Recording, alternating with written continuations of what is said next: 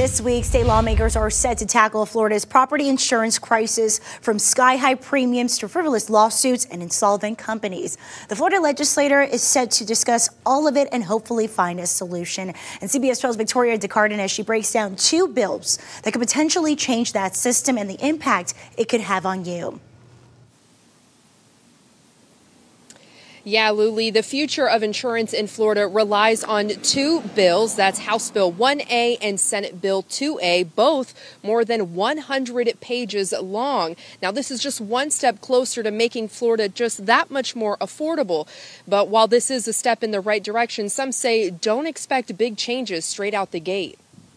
Um, our market is in crisis. Uh, it really is uh, at a, a, level of catastrophe. Lawmakers this week are looking to slow down the insurance crisis. Insurance attorney Sharon James cautions Floridians to manage your expectations during this special session.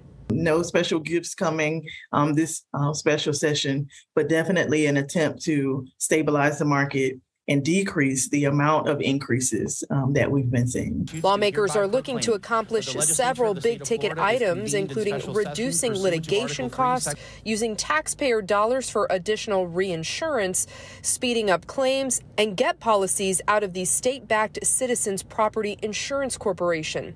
But for many, it's their only option. In Palm Beach County, more than 115,000 homes are insured through Citizens.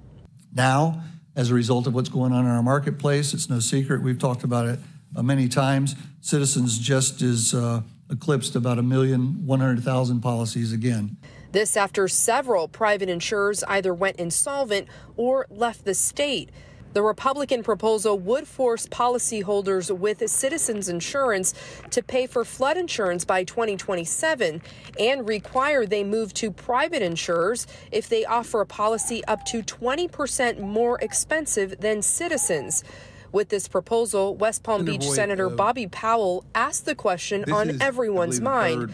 Will this lower premiums for policyholders? I think that the provisions that are in this bill are going to go a long way into stabilizing Florida's insurance marketplace.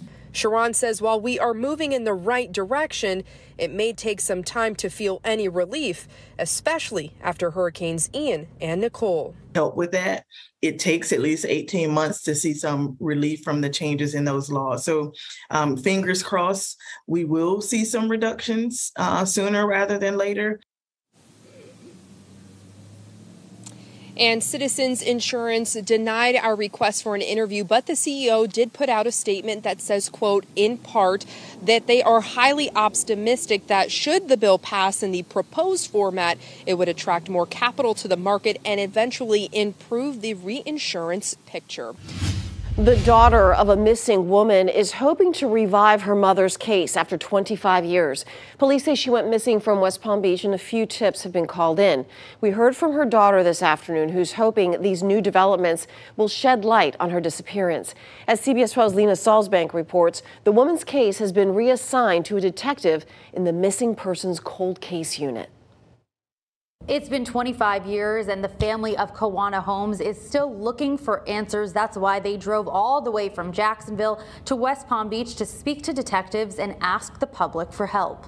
Sadarin Rowe was four years old when she last saw her mother, Kawana. There are not words that the dictionary has given to the feeling that you feel when you don't have that. Everybody can try to compensate for it, but that's a hard knock.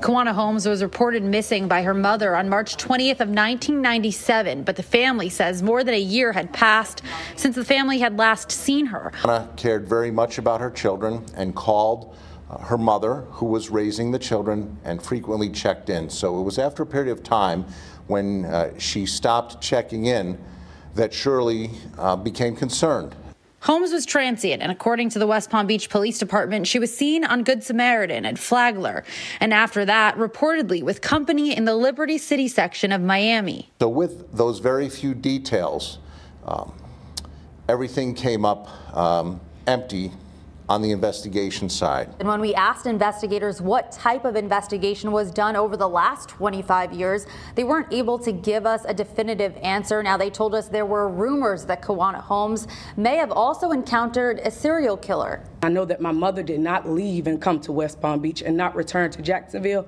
unless she couldn't. Police recorded Kawana's last known activity on February 28th of 1996, but court records show Holmes was arrested just a few days after for prostitution and substance charges. The family says no matter what unfolds during this investigation, they just want closure and justice. I, w- I am here standing as a woman because she was a mother who bore me here, and she did not vanish in thin air, and somebody knows something.